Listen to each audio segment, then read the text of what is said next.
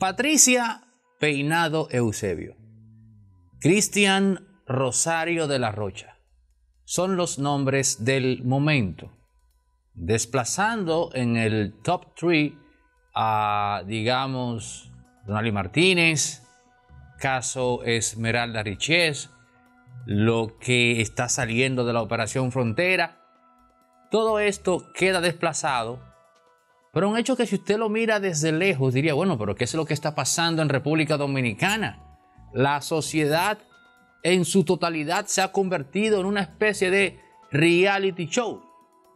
Miren, yo voy a decir de manera precisa qué es lo que, digamos, produjo esta discusión que terminó en un enfrentamiento físico, o más bien invasión, ocupación. Tenemos el video y lo vamos a compartir con ustedes al final de este mismo comentario, el video en donde el coronel, quien es el jefe de seguridad del Banco Central en Santiago, le muestra a la policía cómo quedó su apartamento personal tras la entrada violenta de su pareja. Pero hay que decir y a comenzar a hacer precisiones, no es su pareja, es su expareja sentimental Patricia Peinado Eusebio.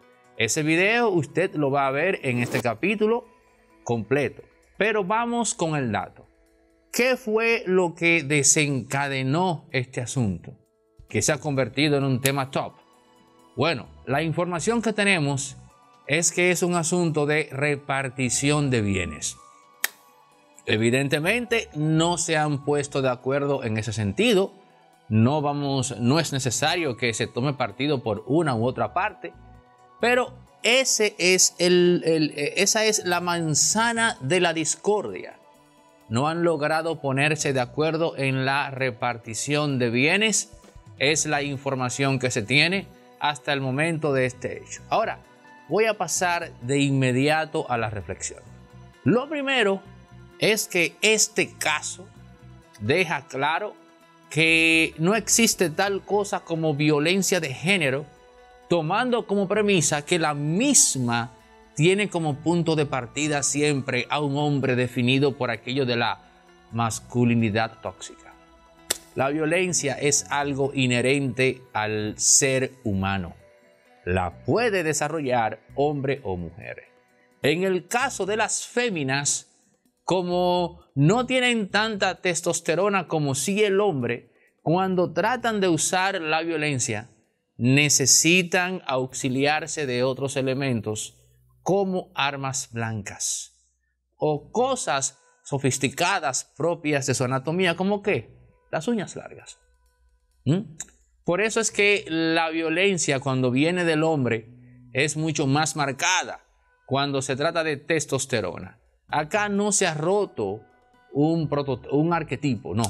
Acá no se ha roto un estándar. Es que nosotros, tras politizar este tema de la violencia interpersonal, la violencia, digamos, eh, de índole de pareja, asumimos erróneamente que este es un tema del hombre contra la mujer. En el video que usted va a ver, el coronel de la Rocha Cristian de la Rocha dice, qué suerte, oigan lo que dice, qué suerte que no tenía el arma conmigo, que la había dejado en el carro. Aludiendo a que si el arma hubiese estado ahí, solo sabe Dios si él hubiese podido mantener la compostura. Hay fotos también de los eh, golpes que él habría recibido. Producción, por favor, las fotos colóquenlas de cómo quedó él. Hay que decir que ella no eh, llegó sola. Ella entró con dos mujeres más. Y según el video, él dice que los cuadros de su padre los destrozaron o los pisotearon, en fin, los ultrajaron. Y eso particularmente a mí me llegó porque yo soy un hombre de familia, en el sentido de que tiendo a valorar eh, todo el producto de una vida en familia. Si un padre le regala cuadros a su hijo, pues bueno, excelente, ese es el producto o uno de los productos de una vida en familia. Entonces, este tema, usted dirá, bueno, pero ¿por qué tiene que convertirse en tema de interés nacional un desacuerdo entre dos personas que hasta hace poco eran parejas? Bueno, aquí lo primero que tenemos que tomar en cuenta es que se trata de una funcionaria, es la encargada de recursos humanos del Ministerio de la Vivienda, y del otro lado tenemos a un, director de seguridad del Banco Central en Santiago, lo cual, señores, no es poca cosa. Un coronel y una burócrata en el sector privado del otro lado. Pero además está el tema de que es un hecho que desafía lo convencional. Porque erróneamente estamos acostumbrados a ver que es el hombre el que abusa de las féminas. Pero acá tenemos un caso que es al revés. Hay una secuencia de fotos en la cual algunas personas han querido ver que es él quien está agrediéndola a ella. En verdad, yo lo que veo ahí es una persona que está tratando de, digamos, de parar al otro, no imponiéndosele no golpeándolo.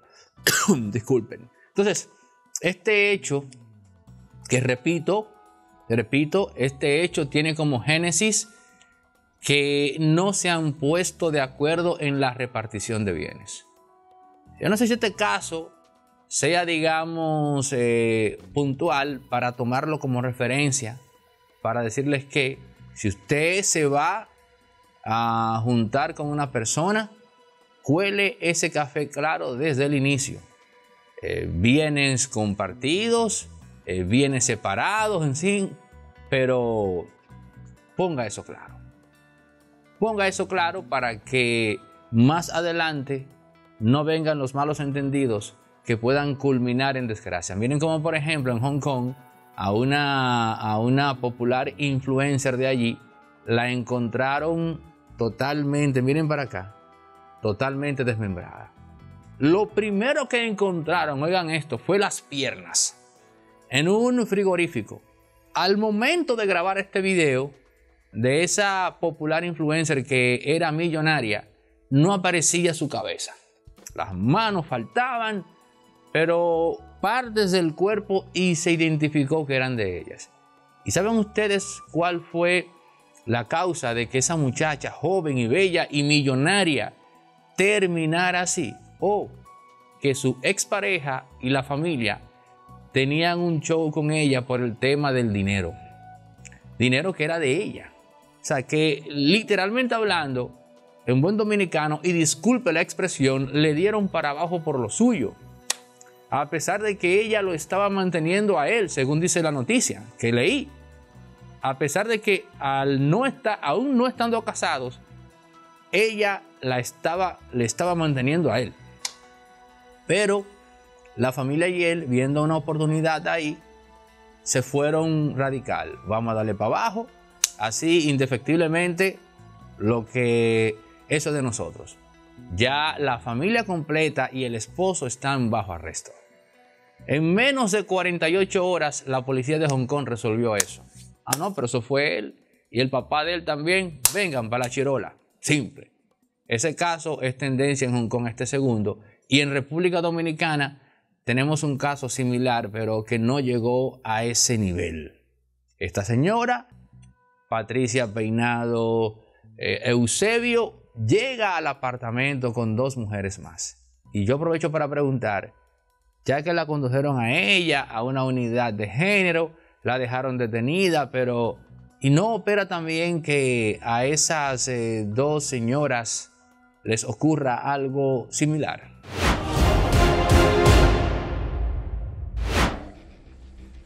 Esto lo rompieron. Rompieron, mire, mire los petillos, mire la puerta rota.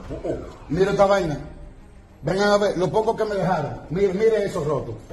Mire cómo está el roto, la, eh, el llavín de, las dos puertas.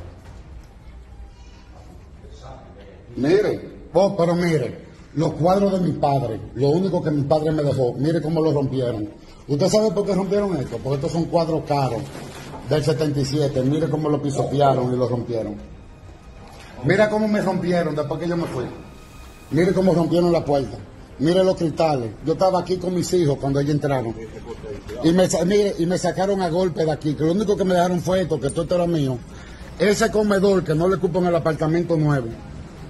Vengan a ver la habitación y lo que hizo en la cocina.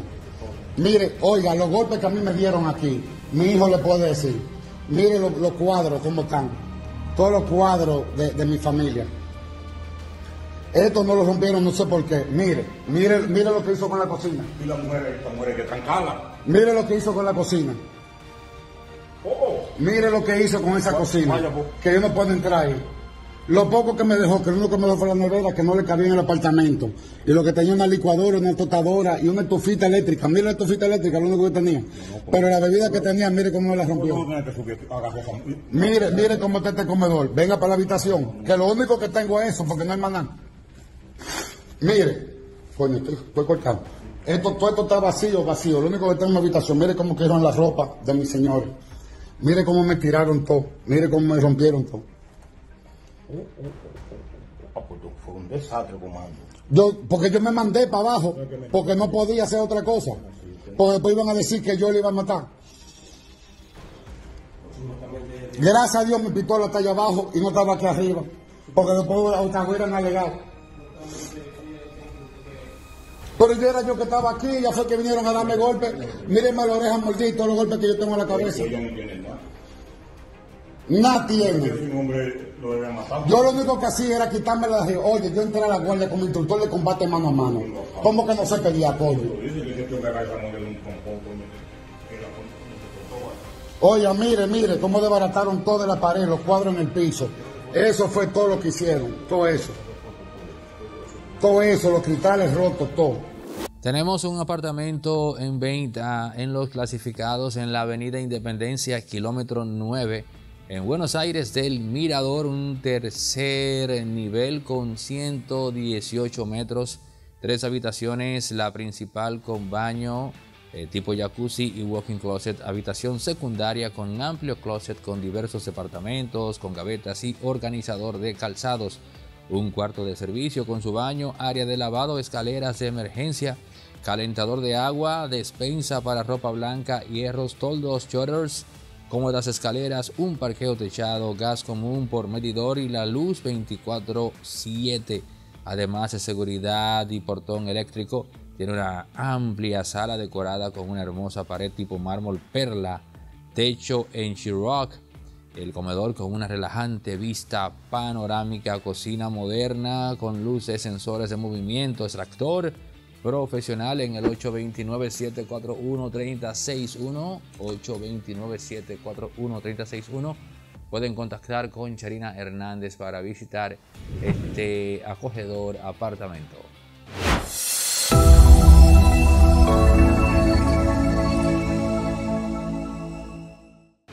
El colega Pedro Jiménez trata de hacer una aclaración. En el momento que él dice que ese video en el cual se ve a, John Kelly en el patio de una celda que no es la de Anaguya, Anaguyama, whatever, como sea que se llame, no es, esa no es, ¿eh? Es otro punto ahí que no se ha aclarado, pero no es esa. Bueno, y él dice que no es un privilegio porque ese es el protocolo. Porque cuando se trata de un reo que está sindicado por, eh, digamos, eh, lo que se le acusa a él, los demás reos tienden a tomar justicia en sus manos. Ya se imaginarán ustedes de qué estoy hablando.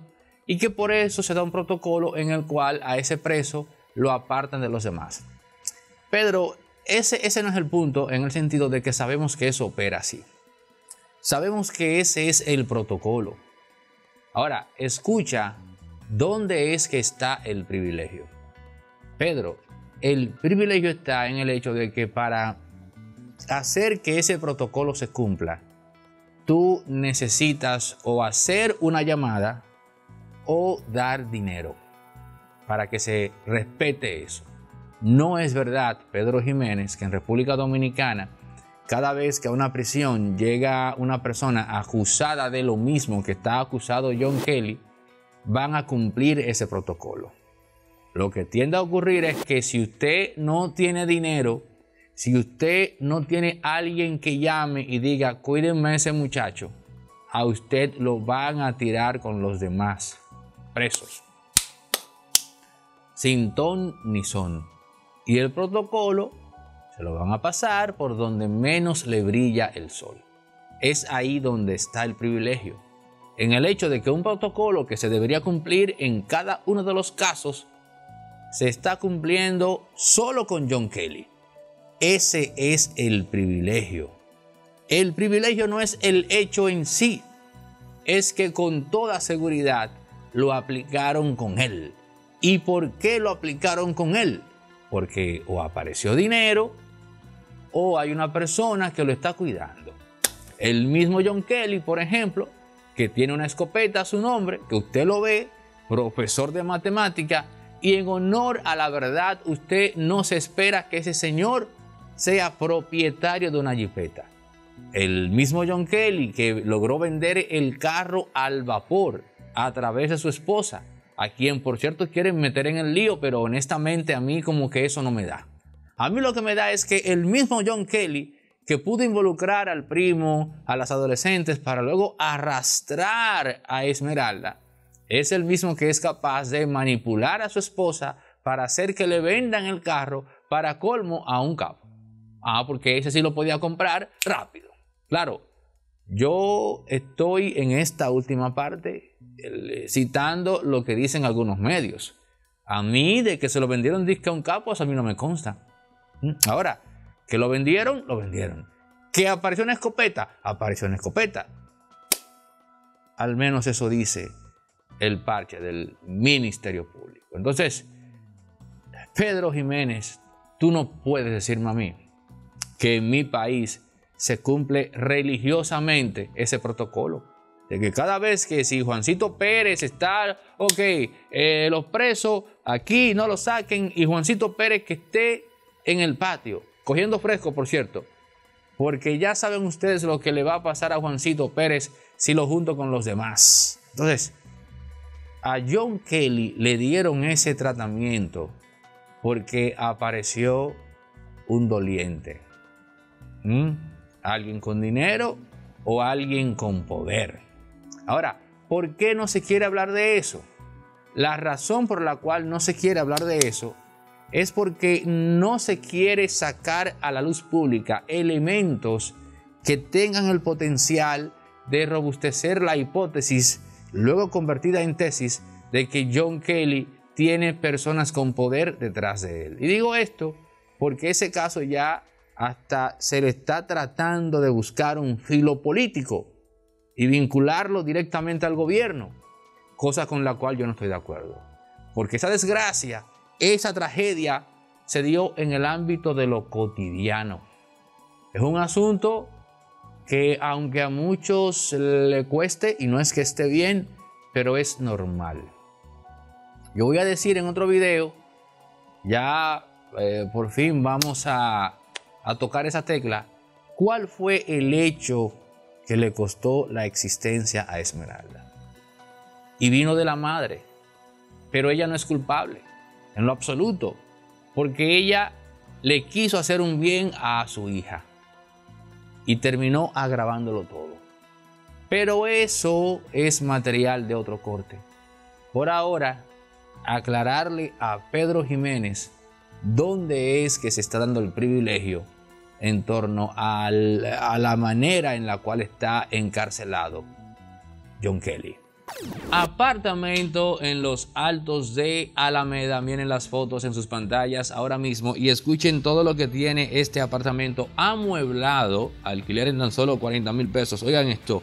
Tiene sala, comedor, cocina, dos habitaciones, dos baños, dos parqueos, sala de estar, calentador de agua, dos aires acondicionados, lavadora, secadora, inversor y tiene servicios incluidos de teléfono, internet, mantenimiento, gas, gimnasio excepto la electricidad. Miren esas fotos y no solo el apartamento como tal, sino lo que se escogió para amueblarlo, simplemente muy bello. Nos pueden escribir al 829-741-361, repito, 829-741-361 y les ponemos en contacto con Charina Hernández, nuestra representante de bienes raíces.